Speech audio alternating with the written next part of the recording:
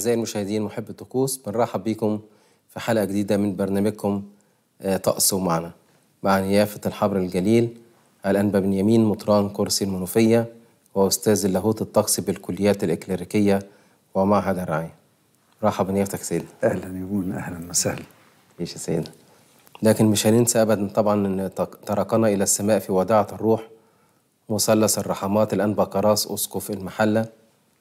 فبيانات صغيرة عن سيدنا وبعد كده نسمع آه، كلمة من يافت الحبر الجليل الأنبا بنيامين عن سيدنا الأنبا كراس. ولد في 10 ديسمبر سنة 1958 في قرية الجزائر مركز صمالوط محافظة المنيا التحق بدير الأنبا صموئيل المعترف بجبل القلمون ثم ترهب باسم الراهب متياس الصموئيلي في عام 1983 انتقل إلى دير العذراء المحرق عام 1989 وأخذ هناك اسم الراهب سرافيم المحرقي. حصل حصل على بكالوريوس العلوم اللاهوتية والماجستير في تاريخ الكنيسة من معهد الدراسات القبطية. صار وكيلا عاما لإبرشية نقادة وقوس منذ عام 1991 حتى عام 2013 ميلادية. سيما أسقفا عاما بيد البابا تودرس الثاني في 16 نوفمبر 2013 وتولى الإشراف على إبرشية المحلة الكبرى. تولى مسؤولية مقرر مساعد لجنة العلاقات العامة بالمجمع المقدس ومقرر لجنة إدارة الأزمات آه، المنبثقة منها. تنيح في الرب يوم الأربعاء 13 أكتوبر 2021 ميلادية. عايزين نسمع من يافتك سيدنا كلمة عن الأنبا آه، آه، كراس أسقف عام المحل متشكر قوي إن قدسك بتتيح لنا الفرصة إن إحنا نعبر عن مشاعرنا يعني. محبوب للكل. آه جدا. الحقيقة نيافة الانبا كراس كان راهب أنا شفته وهو راهب كان وكيل آه، مطرانية نقادة وقوس وشفته وهو أسقف. آه، أقدر أقول إنه احتفظ بالفكر الرهباني في حياته. عشان كده كان دائم الصوم والصلاة وكان نادر لما يهتم بالأكل أو الحاجات دي يعني. وصلواته آه، كان لها فعل في حياة كثيرين يعني. الحقيقة إحنا بنفتكره بكل الخير ويعني بقى شفيع لينا في السماء.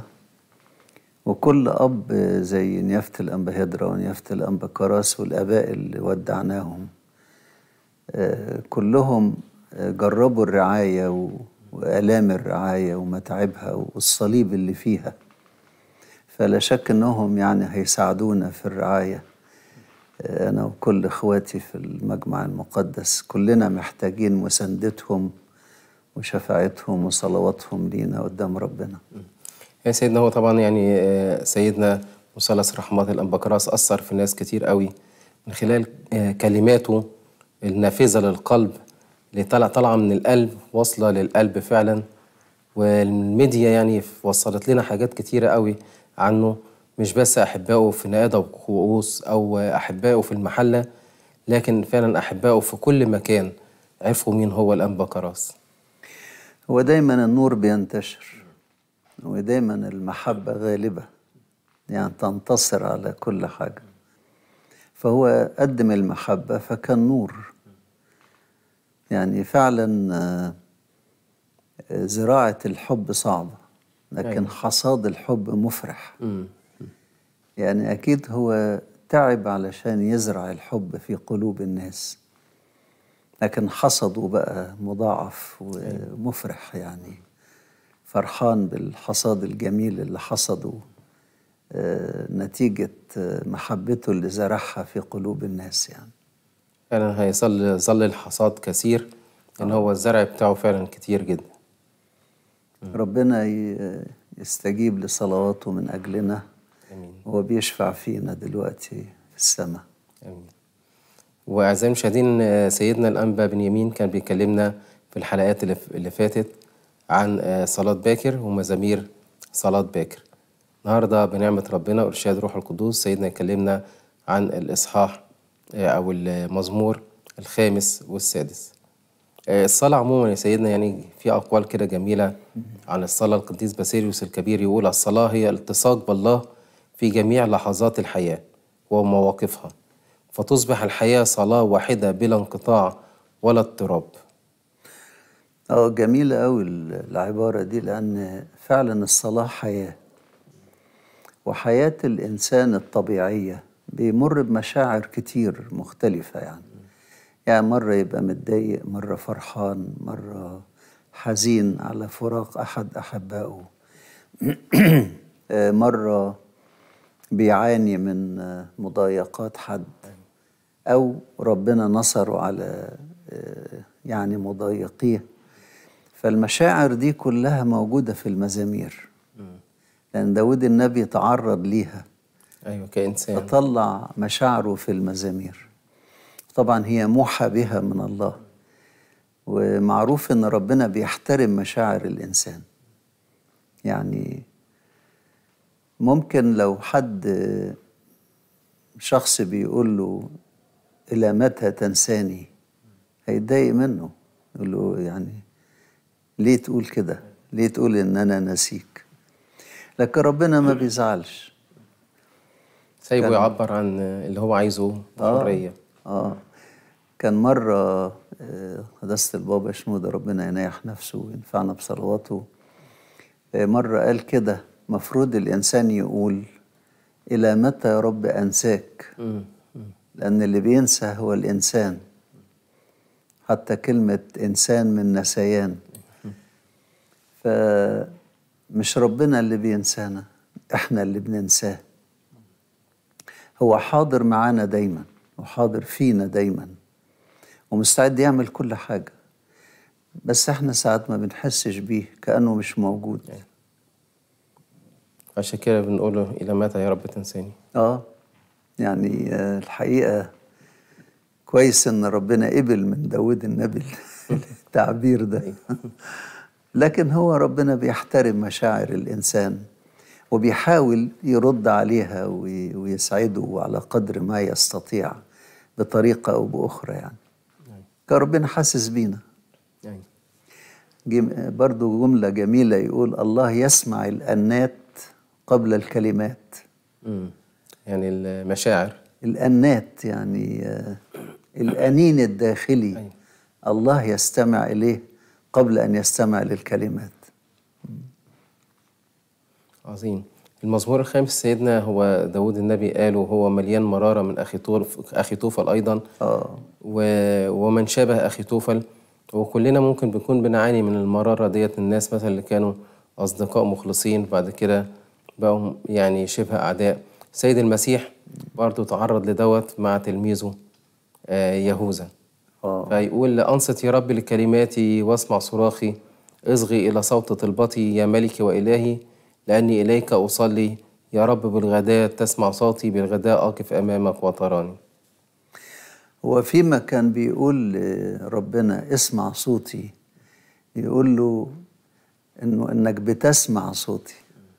يعني يقولها ويرجع يتراجع فيها. يعني ساعات الواحد يبقى مدفوع إنه يقول شعور معين بينما يتراجع بعدها لما يفتكر اللي ربنا عمله معاه. أنا بقول له ربنا اسمعني ده ده هو سمعني على طول. بس إمتى أنا بتكلم معاه؟ هي دي المشكلة. يعني ساعات الإنسان يلجأ لقوة أخرى شخصية أو فكرية أو علاقات خاصة يستعين بناس ويسيب ربنا. حلو إن الواحد برضه يستعين بالناس ما فيش مشكلة لكن ربنا هو الأساس. لأن يقول كده الله هو العامل فيكم أن تريدوا أن تعملوا من أجل المسر فربنا دوره ما يقدرش حد يتجاهله. واللي يتجاهل دور ربنا يعني هيخسر كتير قوي أيوه بيقولوا بالغداء تسمع صوتي. يعني في الأول قال له انصت يا رب لكلماتي قال له اصغي إلى صوت طلبتي بعد كده قال له يا رب بالغداء تسمع صوتي. آه. بالغداء يعني باكر بكرة، آه. يعني آه، في أول اليوم والناس لسه نايمة. يعني الواحد لو كلم حد نايم مش هيسمعه. لكن ربنا ما بينامش فبيسمع في كل وقت. الإنسان دايما محدود يسمع إمتى وما يسمعش إمتى. لكن ربنا غير محدود يسمع في كل وقت. يعني واحد عشان يتقابل مع شخصية كبيرة لازم يتصل بالسكرتارية ويعرف ياخد ميعاد و... لكن مع ربنا لا في سكرتارية ولا في أيوة. ميعاد ولا في حاجة. على طول دايركت مع ربنا يعني. وده يمكن يا سيدنا برضو يعني داود النبي بيقول له بالغداء أقف أمامك وتراني أو تسمع صوتي وتراني. يعني بكرة برضو هتكلم معاك وب- وبعد بكرة وهكذا يعني وعد من داود إن هو كل يوم الصبح يتكلم مع ربنا. ممكن تبقى كده فعلا. لكن آه، يعني آه، المعنى اللي واصل من الكلام إنه كلما يبكر إلى الله يجده منتظره. يمكن لو الواحد بكر لشخص بيلجأ له هيلاقيه نايم. لكن آه، أو محتاج راحة يعني. لكن ربنا مش محتاج راحة ولا بيتعب ولا بينام ولا بينعس ولا بينسى ولا بيتغافل عن حد يعني. الغفلة مش عند ربنا. طبعا. خالص. إحنا اللي عندنا الحاجات دي. الغداء يعني هي باكر زي ما نيافتك قلت لكن برضه هي إشارة لعهد النعمة. يعني فيما بعد في العهد الجديد عهد النعمة. آه ممكن.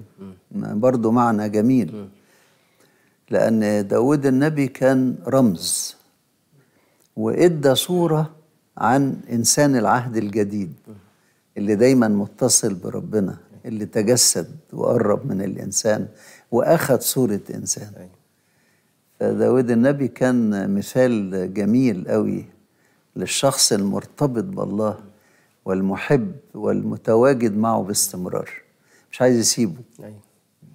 وكلمة الله واسعة جدا ووصايا واسعة جدا فبالغداء كمان توصل لحد الحياة الأبدية يعني صحيح. توصل لعهد النعمة وبالغداء هنا برضو الحياة في الأبدية في الحياة الأبدية أقف أمامك وتراني بس مهم الإنسان يفتكر دي وهو في حالة ملوش نفس يصلي نفسه مكسورة من حاجة ملوش رغبة إنه يتواصل مع الله أو يئس صلى كتير من أجل شيء وربنا مش شايف إن الوقت جه فهو ربنا ما يتأخرش لكن له توقيتاته المظبوطة يعني. يعني ربنا آه، إدى لإبراهيم إسحاق وهو عنده 100 سنة. بعد انتظار 25 سنة. يعني آه، بس جه في وقته. عشان كده ال ال الإنسان ما يصحش يعدل على ربنا يعني. يعني الإنسان محدود زي ما كنت بقول وربنا غير محدود. مين يعدل على مين مين شايف أكتر؟ مين اللي حاسس أكتر؟ مين اللي يعرف أكتر؟ وعشان كده برضه هنا سيدنا داود النبي برغم إن هو ملك لكن بيقول اصغي إلى صوت طلبتي يا ملكي. آه. أنت ملكي. أيوة. أنا ملك أرضي ونسي حكاية الملك ديت. فالواحد ينسى بقى أي حاجة هو فيها أي رفعة أرضية هو فيها. وقدام ربنا يقول له يا ملكي. حلو قوي إن ملك أرضي يلقب ربنا بالملك السماوي. يعني آه، حاسس بعجزه قدام مواقف. لا ربنا ما عندوش عجز قدام مواقف. حاسس إنه مش قادر ياخد قرار في أمور معينة. لا ربنا يقدر ياخد قرار في كل الأمور. فهو شايف ربنا الملك الكبير اللي هو بيمثله. يعني ملك كده صغير أرضي محدود لكن ربنا كملك سماوي غير محدود ودايما فعله دائم لا يتوقف. وهنا برضه يعني ينادي ربنا يا رب. ويقول له يا ملكي. يقول له يا إلهي. وقال إن دي إشارة أيضا للثالوث القدوس يعني. ممكن. وكمان هو يعني زي واحد بيسمي شخص بصفات جميلة. أصل ملك ده مش لقب. ملك يعني يملك. يملك القرار. يملك ال ال القيادة. يعني يملك. أيوة. آه فهي مش مش مجرد كلمة. فالملك آه، اللي له سلطان يعني. يعني كان داود النبي يعرف كويس قوي سلطان ربنا وإزاي سلطانه قوي. على كل سلطان. يعني في العهد القديم كان الشيطان له سلطان. كان بيسموه رئيس هذا العالم. لكن آه، يعني داود النبي لم يشعر يوما إن الشيطان له سلطان عليه. لكن ربنا الملك. هو صاحب السلطان. آه. يقول لأنك إله لا تشاء الإثم ولا يسكنك من يصنع الشر ولا يثبت مخالف الناموس أمام عينيك. يا رب أبغضت جميع فاعلي الإثم وت- وتهلك كل الناطقين بالكذب. رجل الدماء والغاج يرزله الرب. أما أنا فبكثرة رحمتك أدخل بيتك وأسجد قدام هيكل قدسك بمخافتك. الجزئية دي بقى جميلة قوي في إنه بيقول له لا يمكن هتنصر إنسان شرير. يعني مش ممكن إنسان يصنع الشر ويبقى مقبول قصادك يقول لك صلاة الشرير مكرهة الرب. يعني مش ممكن ربنا يسمع لإنسان شرير إلا إذا كان تائب. لكن شرير ورافض التوبة لا يمكن ربنا يسمع له. مش كده نبقى حريصين باستمرار إن إحنا طول ما إحنا هنقف قدام ربنا نكون في حالة استعداد وندم على خطايانا وفي حالة توبة. بالظبط. هي ده ده الباب أو مفتاح الباب. آه. اللي يدخل الإنسان للحضرة الإلهية التوبة. نقولها بقى تاني آه، لأنك إله لا تشاء الإثم. آه. يعني ال ال الاسم أو الخطية لا تدخل في إرادة الله. يعني لو إنسان بيصنع شر بإنسان آخر لا يمكن ربنا يقول له كده يقول له اعمل كده. مش ممكن. يعني ساعات ناس تنسب لربنا أخطاء بيعملها ناس. لا خالص. الله لا يشاء الإثم ولا يساكن من يصنع الشر. كان حد اتظلم مثلا في الدرجة بتاعته في الامتحان في الثانوية العامة مش عارف إيه. ليه يا رب كده؟ ليه يا رب كده؟ هو ممكن يكون في ظلم بس ده مش من الله. آه طبعا. وربنا ما يقبلوش. آه كل شيء بسماح من الله لكن مش هي دي إرادة الله مش هي دي مشيئة الله. صح مظبوط. لا يشاء الإثم. ولذلك الإنسان اللي بيعمل خطية لازم يعرف إنه مش هيقدر يبقى في حضرة ربنا بقى إلا بالتوبة. قل لا يسكنك من يصنع الشر. آه. دي نقطة خطيرة. يعني عايز يقول له يا رب أنا عشان كده قال له بكثرة رحمتك أدخل بيتك وأسجد قدام هيكل قدسك بمخافتك يعني التوبة هي اللي تدخل الإنسان إلى حضرة ربنا. فالباب ده مفتوح. باب التوبة مفتوح. الشيطان بقى بيعمل حاجتين وحشين قوي. يغري الإنسان لكي يسقط في الخطية وبعدين يصعب عليه التوبة عشان يسقط في اليأس. ودي سلمة لدي. يعني آه، الشيطان ما يفرحش بس بإن الإنسان يقع في الخطية لا إن الإنسان ييأس من التوبة. دي بقى سعادة الشيطان ال- المستمرة يعني إنه يكلبش الإنسان ويبقى تحت سلطانه. بس واليأس هو أكثر شيء يخلي الإنسان تحت سلطان الشيطان. لأن اليائس فقد رجاءه في ربنا. خلاص؟ فقد رجاءه في ربنا. وحتى فقد رجاءه في اللي حواليه. لكن كل ما الإنسان يتمسك بالرجاء كل ما يحصل النصرة اللي هو ممكن يكون بيتمناه. مين والرجل الدماء والغاش يرزله الرب. آه. الرجل الدماء هنا هو في الموقف بتاع داوود هو أخي توفل والمشورة الباطلة والكلام ده كله. وعلى المستوى المسياني آه، وقت المسيح ده ممكن يكون اليهود اللي آه، صلبوا السيد المسيح. ولو على بعد أبعد من كده هو ضد المسيح بقى اللي هيجي فيما بعد. كل دول اسمهم رجل الدماء والغاش.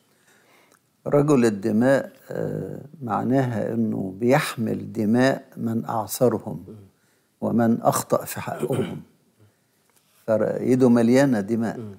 عشان كده داود النبي كان يقول نجيني من الدماء يا الله إله خلاصي. يعني ما تخلينيش مسؤول عن دم حد. يعني لما يهلك إنسان بإرادته فدمه على رأسه. ودايما برضو الأسقف والكاهن يصلي يقول له رب ما تطلبش دم حد من إيدي. إرشدني وأنا تحت أمرك بس ما تطلبش دم حد من إيدي. أما أنا فبكثرة رحمتك أدخل بيتك أنا ما استحقش. آه. وأسجد قدام هيكلك أو هيكل قدسك بمخافتك يعني في الطبيعي أنا ما استحقش أبدا أن أدخل بيتك يا رب لكن أيوة. بدخل حسب رحمتك. صح. يعني هنا الرحمة بقى الوسيلة اللي تجمع إنسان خاطي مع إله قدوس.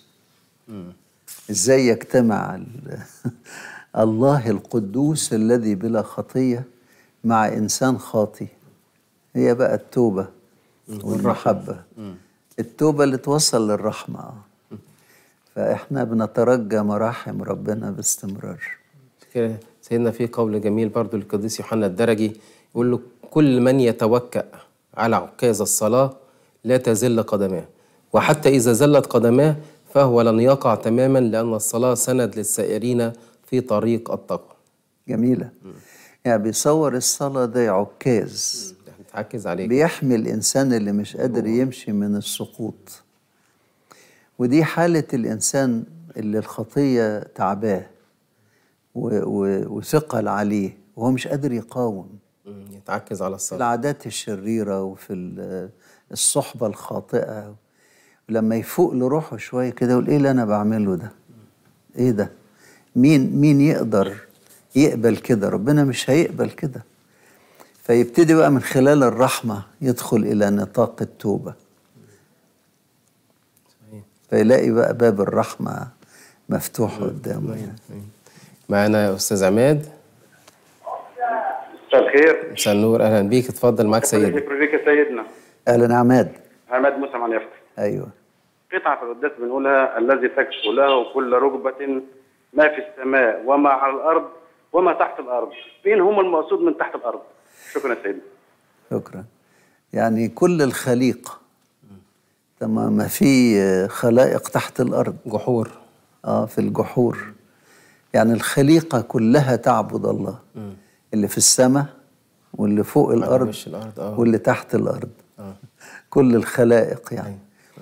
حتى إحنا نقول في صلاة ال- الصلح الساكن في الأعالي والناظر إلى المتطامنات. كائنات دقيقة. آه يعني زي الدودة في الحجر كده اللي هي المخلوقات الحقيرة اللي ما تبانش. معنا برضو اتصال من الأستاذة مريم. أهلا جنب الآيات يا بونا أهلا بيكي أهلا بيكي. معاك سيدنا. مطاني يا سيدنا. أهلا يا مريم. إيه، لو سمحت يا سيدنا يعني أنا عايزة أعرف صلاة الترحيم دي بتفيد الم- المنتقل؟ طبعا. يعني كان حد مرة شاف والده أو والدته في حلم. آه. وهو جاي يشكره إنه طلب من أبونا يعمل ترحيم ليه. يعني في. قصص زي كده كتير بناس كنسيين بيقولوها يعني وناس موثوق فيهم يعني. الصلوات بتوصل. الترحيم مفيد جدا جدا للإنسان لأن أصل لسه الحكم لم يصدر. فالترحيم ده مهم أوي الحقيقة. شكرا اتصالك أستاذة مريم. آه، اهديني يا رب ببرك من أجل أعدائي سهل أمامي طريقك لأن ليس في أفواههم صدق. باطل هو قلبهم حنجرتهم قبر مفتوح وبألسنتهم قد غشوا فدينهم يا الله وليسقطوا من جميع مؤامراتهم وككثرة نفاقهم استأصلهم لأنهم قد أغضبوك يا رب. أنا أخدها من الأول كده. يعني مشاعر صعبة قوي عند داوود النبي. يعني يقول اهدني يا رب ببرك من أجل أعدائي. اهدني ببرك. ما دي بقى ميزة إن الإنسان الخاطي يقرب من الله القدوس من خلال الرحمة. فيرى بر الله فالله بار وقدوس. ودي أهمية القدوة بقى في البشر برضو إن يكون إنسان بار.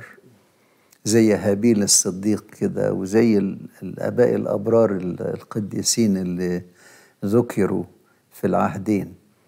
مهم قوي إن الإنسان يحتمي في بر الله من حروب الشيطان. يقول يا رب غطيني ببرك. فيبقى محمي من تأثير الخطية عليه. فربنا ببره وقدسته. يعني مجرد يبقى أنا في حضرته في الحضرة الإلهية استفيد من هذا البر. يعني وأتعلم اهدني- منه. هنا بمعنى قضني اهدني من أجل أعدائي؟ آه آه، زي ما. بنقول في القداس واهدنا إلى ملكوتك. يعني آه، تشي يعني خدنا. مايت يعني طريق. خدنا لطريقك.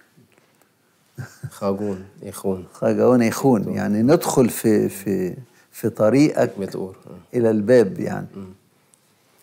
فمهم قوي إن الإنسان ي- يشوف بر الله ويحتمي فيه. وطبعا الرحمة اللي, اللي زي ما قلنا بتجمع إله بار وقدوس مع إنسان خاطي. من باب الرحمة يعني. معانا سيدنا برضو أم ناصر. ألو؟ ألو؟ أم ناصر؟ ألو؟ أيوة أستاذ عماد ولا مين معانا؟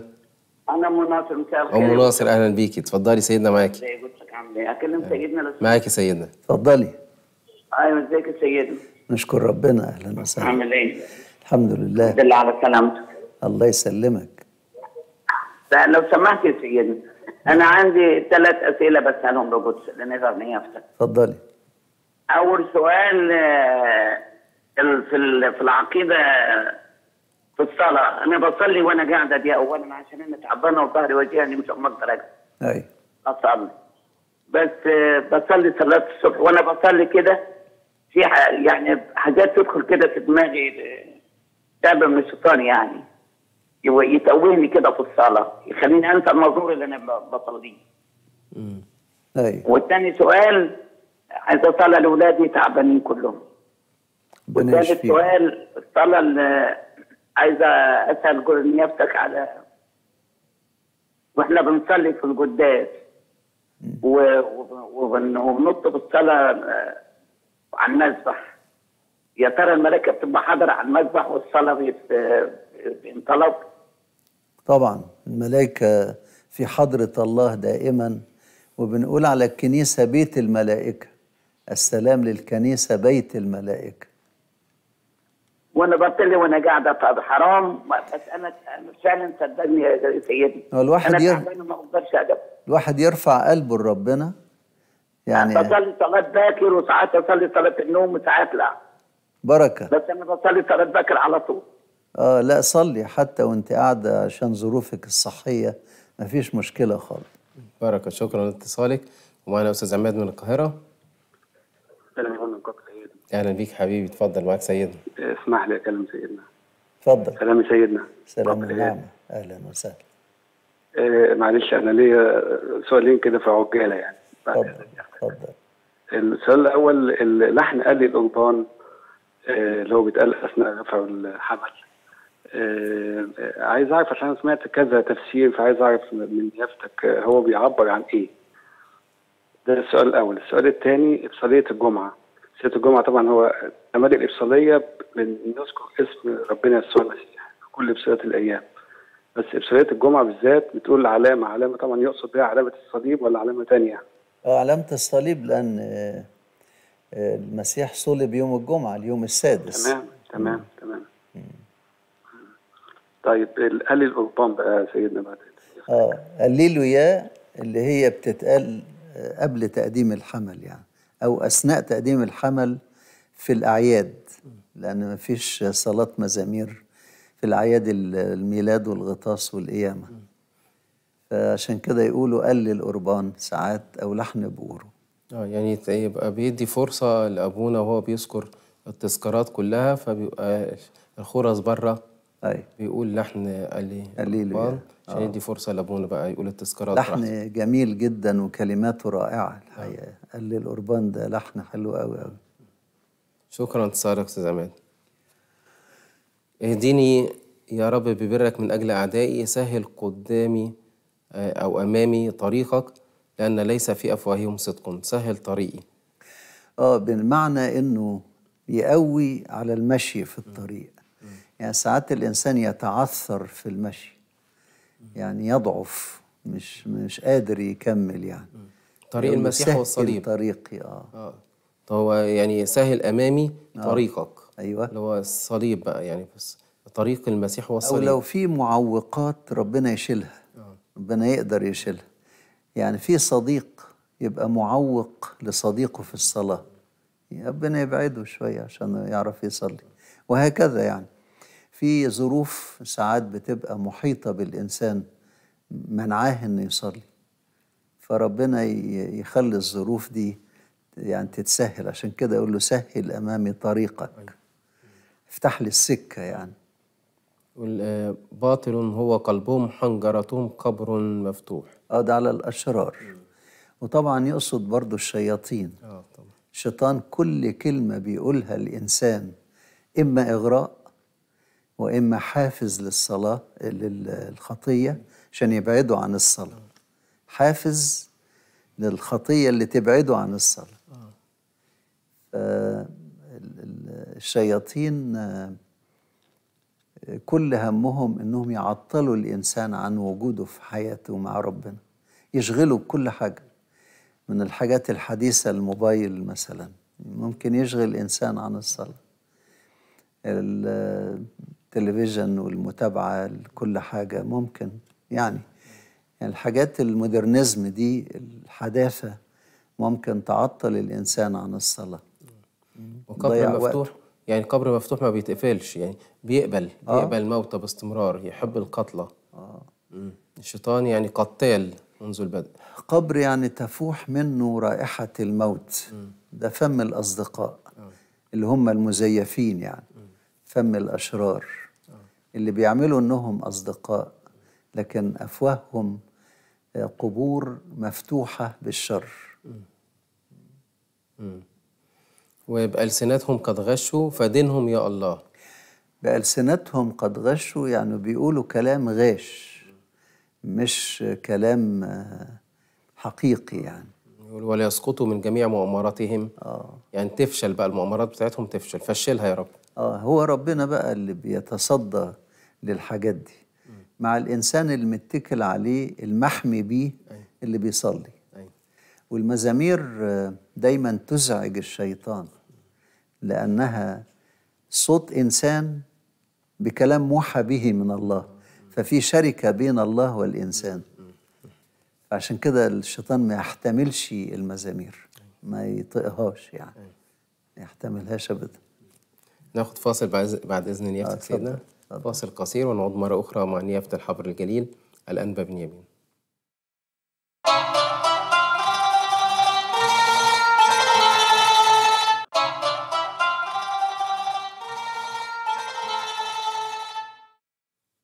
مرة أخرى أعزائي المشاهدين مع نيافة الحبر الجليل الأنبا بن يمين آه، عن الأشرار سيدنا كان آخر عدد في المزمور أو آه، خدناه مع نيافتك وفي برضو قول لقديس نيلوس السينائي يقول إن من يصلون وفي نفوسهم حقد يشبهون من يصب ماء في دلو مثقوب آه. دلو مثقوب يعني كله رايح على الأرض. آه الصلاة ملهاش ما لازمة. فيش حاجة ملهاش بيستفيد. بيها يعني. ولذلك آه، حفظ الصلاة مش حفظ كلام الصلاة بس لكن حفظ الصلاة من الضياع. يعني ممكن الصلوة ما تفتش تضيع. حفظ روح الصلاة. آه. ويقول وليفرح بباقي المزمور وليفرح جميع المتكلين عليك إلى الأبد يسرون وتحل فيهم ويفتخر بك كل الذين يحبون اسمك لأنك أنت باركت الصديق يا رب كما بترسل مسرة كللتنا هللويا.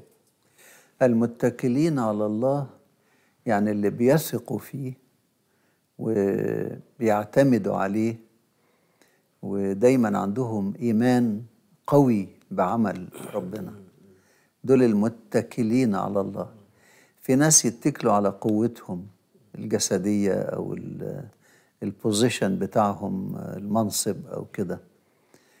أو يتكلوا على العيلة و- والاسم. بتاع العيلة والقوة. كل دي أمور يعني آه، لها حدود معينة وما تنفعش مع كل الناس. لكن عمل ربنا بقى ضد كل قوى الشر. يعني الشيطان هيفرق إيه مع عيلة إيه مين ولا عيلة مين ما يعني؟ يعني قصدي طبعا العائلات على راسنا من فوق لكن أنا قصدي أقول الاتكال على غير الله يضيع الإنسان. أيوة.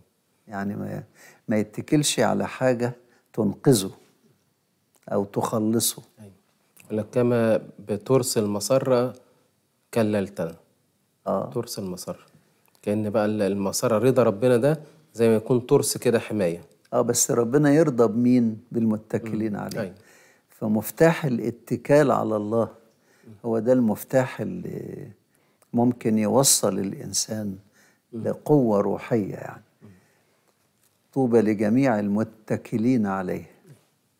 المتكلين عليه دولت اللي بيصلوا ويقول إن الصلاة تشبه عين ماء في وسط بستان فكل شيء بدونها يابس غير مثمر وكل شيء بواسطتها مزهر مبهج. إن الصلاة تحفظ الغروس في حالة الندرة بالضاد يعني أعني الفضائل. ده القديس يوحنا ذهبي الفم. مناسبة المية السيد المسيح قابل ناس كتير عند المية. يعني قابل السامرية عند البئر الماء. وكلمها عن الماء الحي. قال من يشرب من هذا الماء يعطش أيضا. لكن من يشرب من الماء الذي أنا أعطيه فلن يعطش إلى الأبد. فالسامرية قابلها عند المية.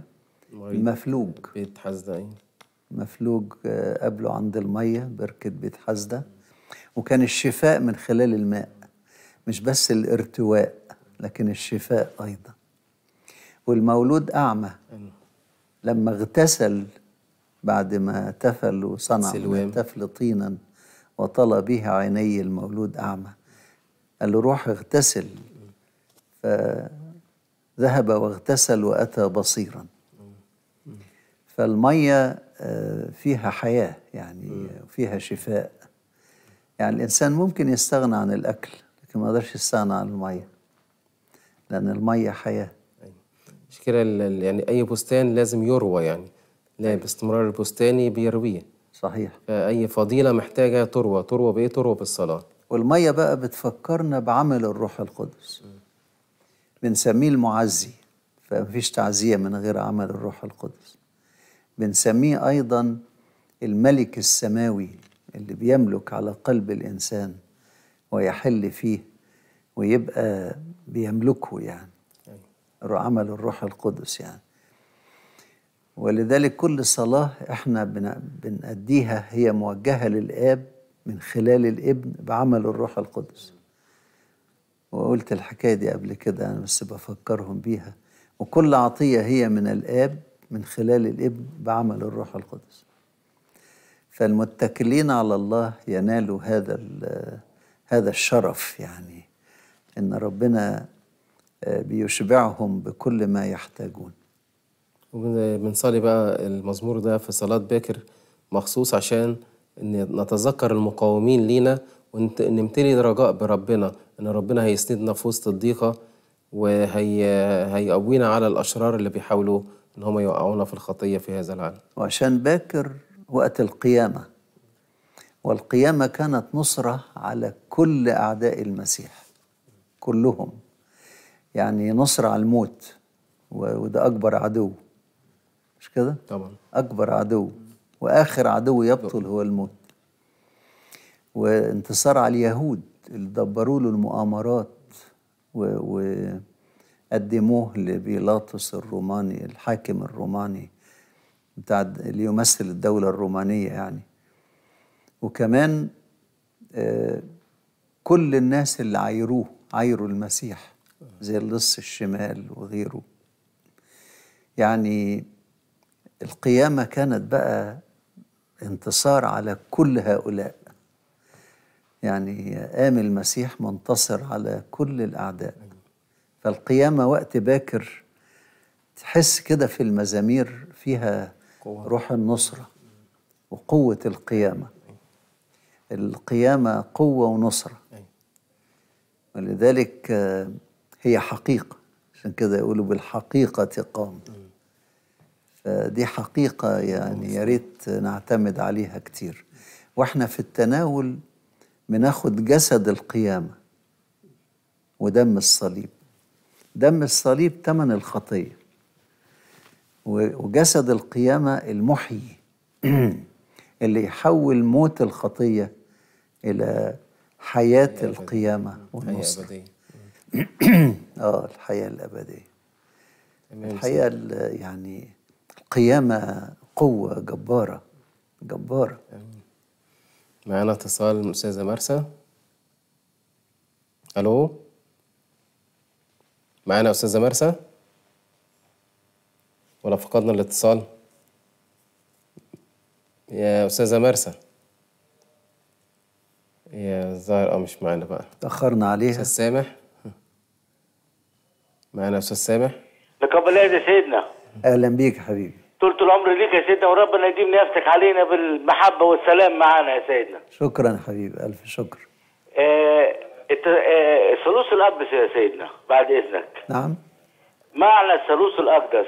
معنى الثالوث الثالوث الأقدس. الأقدس لا، هو وحيد في ثالوث وثالوث وحيد آه يعني الله الواحد المثلث الأقانيم. الله قدوس. الله قدوس. وكل أقنوم فيه قدوس.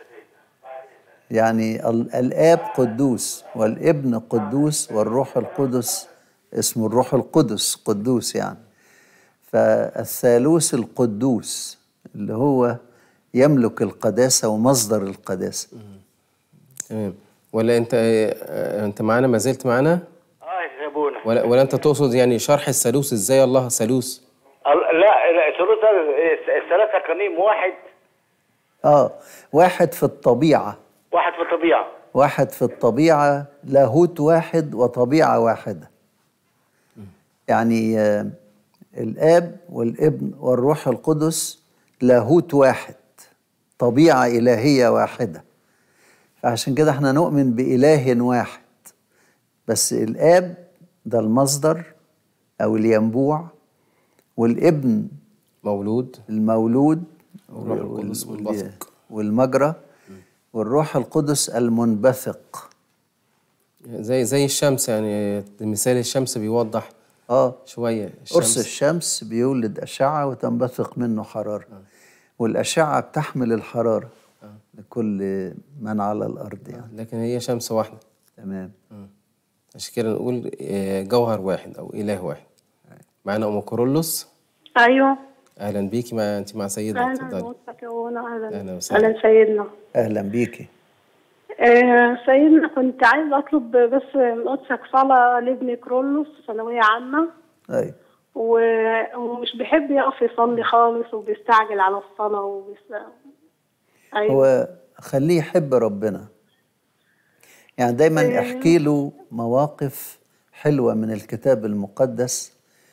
أنا كنت ابتديت أتكلم عن لمسات إلهية. يعني لمسة قبول الخطية. المرأة الخاطية المعروفة في المدينة وقابلته في بيت سمعان الفريسي. آه، لمسة إخراج الشياطين من آه، بنت المرأة الكنعانية. يعني لمسات إلهية جميلة. فاحكي له كتير عن محبة ربنا. وعن مواقفه الجميلة مع البشر. وطبعا مع الأنبياء والآباء وكده القصص كثيرة يعني. ومعانا أستاذة حشمت. ألو أستاذ حشمت؟ فندم أهلا بيك. اتفضل معاك سيدنا. اتفضل بسؤالك. شكرا يا أستاذي. أهلا حبيبي. اتفضل آه، مساء الخير يا سيدنا. أهلا وسهلا. نقبل يا سيدنا. أهلا وسهلا. آه، السؤال يا سيدنا من فضلك آه، لماذا أضيفت لفظة أو كلمة وثاقه إلى القداس الإلهي علما إنه بالبحث عن الكلمة في الأربع اناجيل أو في رسائل معلمنا بولس ما لقيتهاش. لا هي مش أضيفت. آه. هو ده تقليد. تمام. التقليد بيكمل المكتوب. يعني التقليد هو الإنجيل الحقيقي يعني. تمام. لأن الرسل شافوا كتبوا يعني في التقليد. آه. مم. ف... وذاق علشان بدليل إنه قال للتلاميذ لا أعود أشرب من نتاج هذه الكرمة إلى أن أشربه معكم جديدا في ملكوت أبي. فده دليل إن هو انه ذاق. فعلا ذاق يعني. تمام. آه، سيدنا برضو في قول القديس ماري إسحاق عن الصلاة إن نعمة الله تقف على الدوام عن بعد وترقب الإنسان أثناء الصلاة فإذا تحرك فيه فكر اتضاع فإنها في الحال تدنو منه ومعها ربوات المعونة. آه يعني آه، بمعنى إن الإنسان المتضع مسكن لله. يعني الإنسان المتواضع الله يحب أن يظهر فيه. لأن السيد المسيح قال تعلموا مني لأني وديع ومتواضع القلب فتجدوا راحة لنفوسكم. فالإنسان المتواضع ربنا يظهر فيه. آه، ربنا يعني بي- يش- بيشوف الإنسان المتواضع ويديله نعمة زيادة يسنده بالنعمة. أيوة. يعطي المتواضعين نعمة. أيوة يقاوم الله المستكبرين والمتضعين. يعطيهم نعمة. يعطيهم نعمة. نعمة يعني عطية. يعني إضافة يعني قوية. سيدنا المزمور السادس يا رب لا تبكتني بغضبك ولا تؤدبني بسخطك. ارحمني يا رب فإني ضعيف اشفني يا رب فإن عظامي قد اضطربت ونفسي انزعجت جدا. هنا بقى المزمور دوت يعني من مزامير التوبة اللي برضو داود النبي بيتكلم فيها بقى المزامير اللي فاتت كانت في اضطهادات من الخارج. لكن هنا الاضطهاد بقى من الإنسان نفسه إن هو وقع في الخطية. الإنسان وقع في الخطية فبيقول له يا رب لا تبكتني بغضبك ولا تؤدبني بسخطك. ارحمني فإني ضعيف اشفني فإن عظامي قد اضطربت ونفسي انزعجت جدا. هو لا يرفض التبكيت بس مش بالغضب. يعني يقول له ما تغضبش عليا وبكتني. لا تبكتني بغضبك. أنا مش قد غضبك يا رب. ولا تؤدبني بسخطك. أدبني بس مش بالسخط. يعني لا يرفض التبكيت ولا التأديب. ولكن آه، بال- بالحب يعني الإلهي. قال له بمحبتك اعمل اللي انت عايزه يعني. أنا ضعيف. ارحمني مش هستحمل ضعيف. من آه. كده. آه. اشفيني كما لو كانت الخطية يعني آه مرض. مرض. طبعا. ده هي أساس كل الأمراض. يعني المرض لم يوجد في حياة الإنسان إلا بعد الخطية. يعني لم يذكر عن آدم وحواء قبل السقوط إنهم مرضوا. طبعا مش بالضرورة كل إنسان مريض يكون أخطأ. لا أنا مش قصدي كده.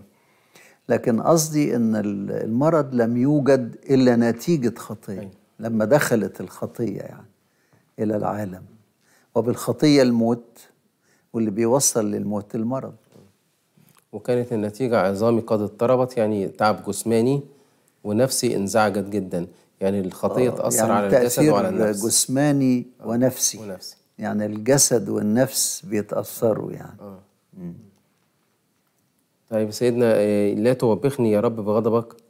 بمعناها بل يا رب كأب أنت يا رب بكتني كأب مع ابنه. هو ربنا دايما كان يحب الحوار يعني تحاور مع إبراهيم أبو الآباء آه، تحاول تحاور مع أرمية. مش كده؟ أرمية النبي.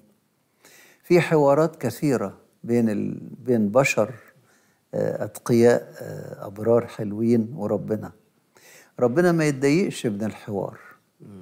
لكن يزعل من اللي يديله ظهره. في ناس كتير قوي لما تحس إن ربنا تخلى عنهم بفعل شيطاني وربنا لم يتخلى. آه. لكن ده تأثير الشيطان يعني. الشيطان أثر في الإنسان وأقنعه أن ربنا سابه. فبتكون النتيجة بقى أنه ما يحسش بقى بمحبة ربنا في التأديب أو التبكيت يعني أو العتاب. أيوة. عشان كده برضو يوحنا الدرجة القديس يوحنا الدرجة يقول العين البكية هي جرن دائم لمعمودية التوبة والتجديد. جميلة. يعني العين الباكية آه، معمودية. معمودية آه معمودية جديدة. معمودية. للتوبة يعني. تعطي حياة التوبة آه، بالظبط. نوع من الحياة يعني. زي ما المعمودية ال- اللي في سر المعمودية يعني بتدي حياة أبدية. دي بتدي حياة التوبة. يعني برضو الإنسان اللي يدمع وهو بي بيقدم صلي. توبة إنسان حاسس بربنا وله مشاعر حلوة. عشان كده العين اللي تغلب ربنا هي العين الباكية. لا حولي عني عيناك لأن عيناك قد غلبتاني فالعين اللي تغلب ربنا هي العين الدامعة. قل أنت يا رب فإلى متى؟ عد ونجي نفسي وأحييني من أجل رحمتك لأنه ليس في الموت من يذكرك ولا في الجحيم من يعترف لك. هنا بيرفع الرحمة لمستوى الحياة. خد بالك؟ أيوة. يعني الميت بالخطية الرحمة تقيمه تحييه بالتوبة لأن التوبة قيامة برضه. أيوة. فالرحمة اللي تخلي للإنسان فرصة أن يقوم بالتوبة. كلام جميل قوي الحقيقة وطالع من مشاعر عميقة حقيقية وصادقة. يقول له عد. يعني؟ إشارة إلى حضور النعمة مرة تانية. ار- ارجع لي تاني يا رب رجع لي النعمة مرة تاني. أيوة. أنت يا رب فإلى متى عد ونجي نفسي؟ بس عد دي برضو تفيد الترك. أنه آه أنه هو ساب. أي- أجعلني أعود. آه. ها اجعلني أعود. الترك نتيجة الخطية. والعودة نتيجة الرحمة وقبول التوبة. جميلة قوي الحقيقة. آه، مشاعر داود النبي يقدم لنا طريقة جميلة قوي للتوبة. وللشركة بين الإنسان الخاطي والله القدوس. يقول له أحييني من أجل رحمتك. أنا ما استحقش. أن كان عليا ما استحقش الخلاص لكن ليس لأجل استحقاقي أنا. بل من أجل رحمتك. من أجل رحمتك. يقول تعبت في تنهدي وعوم كل ليلة سريري وبدموعي أبل فراشي تعكرت من الغضب عيني شاخت من سائر أعدائي. عمال بيبكي. في ناس ساعات آه، كان في صلوة الأب قديس في بستان الرهبان. بيقول إن إحنا ساعات نقول كلام في المزامير لكن مش موجودة اللي بيقول كده وهو بيصلي هل عوم فراشه بدموعه فعلا؟ طبعا الرد على كده إن إحنا بناخد خبرة لشخص عمل كده. آه طبعا. خد بالك؟ يعني مش شرط شرط أكون أعمل أنا- كده علشان آه. أقول كده. آه. ما دام ما بعرفش أبكي في في الصلاة يبقى ما أصليش المزمور ده؟ مش معقول. فده يعني كان بس عشان لو حد قرأ ال- الكومنت بتاع الأب في البستان دي يبقى يعني آه، فاهم الرد إيه يعني. إن مش بالضرورة آه، أغرق فراشي بدموعي علشان أقول المزمور ده. لا ده المزمور فيه حاجات تانية كتير قوي غير حتة الدموع دي. ده الدموع ده مجرد انديكيشن أو دليل يعني مجرد دليل. لكن آه، المهم القلب فيه إيه؟ في حب ربنا في الرغبة في العودة إلى الله. في حب ال- القيام من السقوط. محدش يت- يحب يتنه ساقط يعني. أيوه ودايما في الليل تعبت في تنهدي وعوم كل ليلة. آه. سريري. فبالليل باستمرار هو أول ما يحط دماغه على المخدة يبتدي يفتكر فيتأثر فيدمع. فدي مشاعر توبة. يعني حتى وهو بيميل إلى الراحة يفتكر خطيته ويقدم توبة حيث لا يراه إنسان بالليل بقى يعني علاقة خاصة بينه وما بين ربنا. إلا إذا كان حد نايم معاه في الأوضة. اللي يبعدوا عني يا جميع فعيل الإثم لأن الرب قد سمع صوت بكائي سمع. شوف البكاء مسموع حتى ال- البكاء اللي الصامت له صوت عند ربنا يحس بيه يعني. المزمور ده بيقدم أحاسيس معينة. ما فيش حد يحس بيها إلا ربنا بس. يعني آه، ممكن الأب والأم يحسوا بأولادهم آه بس مش بالدرجة دي. يعني مش بالنوعية دي يعني. فجميل الحقيقة المزمور رائع. الرب سمع تضرعي الرب لصلاتي قبل هو يعني. لو الشيطان حاول يفهمنا ربنا رفضه بيقول لأ ربنا قابلني وقابل توبتي. فليخزى وليضطرب جدا جميع أعدائي. آه. اللي هم بقى ال- الشياطين ومعاونيهم. اللي هم مصدر عثرة يعني. وليرتدوا إلى ورائهم بالخزي سريعا جدا. آه.